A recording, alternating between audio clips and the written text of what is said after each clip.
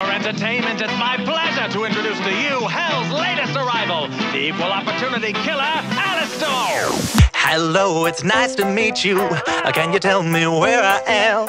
I don't know how I got here, but I, I think I'm starting to understand. I don't belong among the angels, and maybe that's just fine with me.